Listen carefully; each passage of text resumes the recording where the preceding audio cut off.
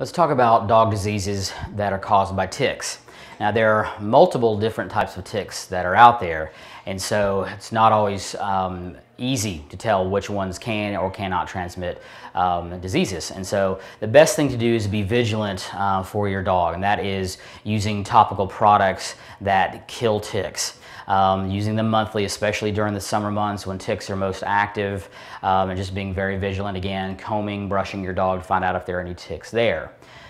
Ticks uh, typically have to be attached for 12 to 24 hours to transmit a tick-borne disease.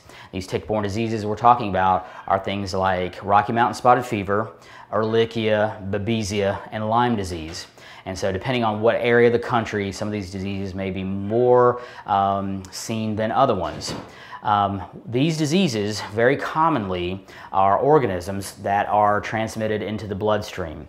And what happens in a lot of these, for a lot of these animals, is they be, can, can become immunosuppressed um, have high fevers typically, joint pain, uh, just not doing well, overall lethargy. Some of these diseases can cause a, a wide range of uh, sometimes bizarre symptoms that don't always make sense.